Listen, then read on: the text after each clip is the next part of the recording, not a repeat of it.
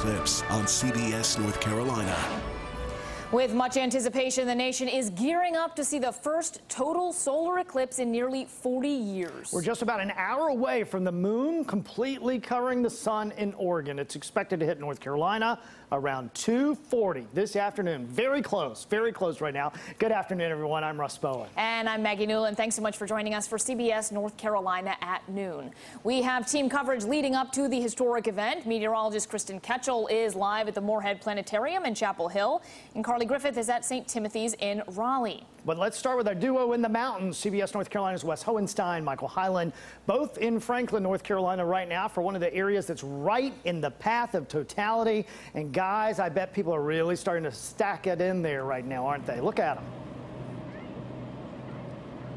Indeed, they are. You know, we were with you early this morning at 5:30 to be exact, and there was already a crowd. And normally this street is empty. It is a Monday afternoon, and the crowds have increased. We have got our wish and got sunny skies. Of course, that is shooting temperatures up to around 90. We are in the path of totality. We're 10 miles from the center line, from the maximum possible possible eclipse. Now, our friends in Oregon will start to see the partial eclipse in just a couple of minutes. The maximum total eclipse, Michael, will be here about 2.35. We've met a lot of people from across the ocean to across the state, a lot of them from the A lot of people from back home in central North Carolina. You're looking at some video from earlier today, all the hustle and bustle here. Caught up with Jeffrey Williams and his wife Allison, who are here from Raleigh. They bought 15 pairs of the eclipse glasses a year ago, then spent their time using satellites to pinpoint that precise location you were talking about, Wes, 10 miles from here, where they have set up their tents to camp out. And Jeffrey explained to me what he envisions today will be like as he and his wife see the total eclipse. When the eclipse happens and the moon starts going in front of the sun, I will feel the solar system turning. I will be part of the universe turning. And I'm really into that. That's going to be cool.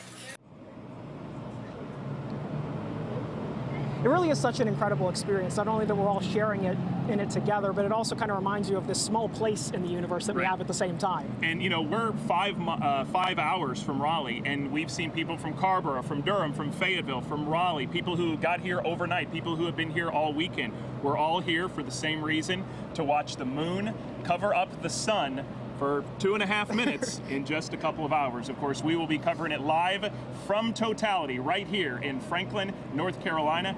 For Michael Hyland, I'm Wes Hohenstein, CBS North Carolina.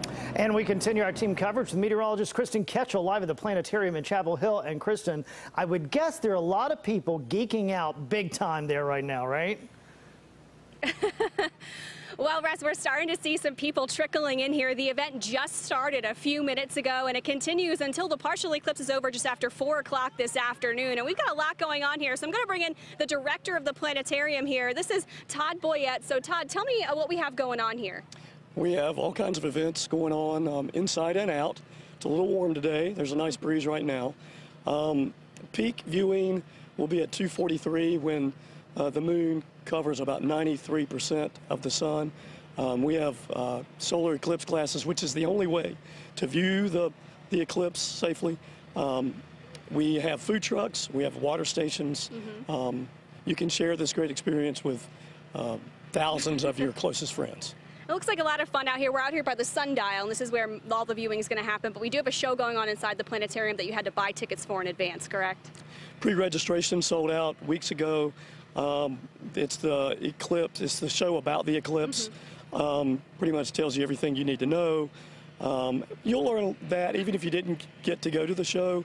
You'll learn that here. We have lots of volunteers and staff stationed um, inside and out. So uh, come on and join us. Awesome. Well, thank you so much. It looks like a lot of fun out here. We're just getting the party started here in Chapel Hill at Morehead Planetarium. Again, the event just started and continues until just after 4 p.m., and we'll have updates throughout the afternoon. Live in Chapel Hill, I'm Storm Team Meteorologist Kristen Ketchel, CBS North Carolina. All right, Kristen, I'm sure that event will be packed as well. And heading to Raleigh now, where St. Timothy students are preparing for the eclipse. That's where we find CBS North Carolina's Carly Griffith. And Carly, lots of uh, excited young men and women, I think. Absolutely, Maggie. And you know, this courtyard that we're standing in right now, uh, it's right behind uh, some of the, or right next to some of the classrooms. The courtyard will be filled with students a little later today for the eclipse. Uh, but right now, those students are in classrooms learning about safety tips and also getting, re getting uh, ready for science experiments. And one third grade class that we visited with were making pinhole viewers for the eclipse. Uh, now, that uh, started after students got a, refresher from their teacher about what exactly makes an eclipse happen. And the class then split up into groups to make use of some empty cereal boxes. Now, the pinhole viewers, just like it sounds, you make a hole the size of a pin at one end of the box so that you can see the image of the eclipse projected into the box. Science teacher Megan Shank says being able to show students an eclipse rather than just teaching about the theory is a rare and wonderful opportunity. It's really exciting because um, we talk about these concepts all the time in class, and um, you know we can model them with uh, the tools we have in the classroom, but there's nothing like being able to see it. Students have already tested their pinhole viewers and they did a great job making them. They even let me look through one of their boxes or look into one of their boxes. And now students will start gathering back outside here in the courtyard around 2 o'clock to actually view the uh, start of what will be the eclipse for us here. And we will be right here alongside them as they get to see uh, this wonderful, wonderful experience. Uh, but for now, we are live in Raleigh. I'm Carly Griffith for CBS North Carolina. Yeah, talk about a learning opportunity. That's oh really, goodness, really amazing yeah. for those those students. And obviously, no pressure, but no. the weather is key to making sure we can actually see the eclipse. We have been feeling the pressure on this for a long time, let me tell you. But I want to start off with what we're going to see and kind of the timeline here around central North Carolina. Around 1:15 it will begin, but 1:45 we're seeing that chunk kind of out of the sun. We see even more of it disappear behind the moon at 2 o'clock, 2:20.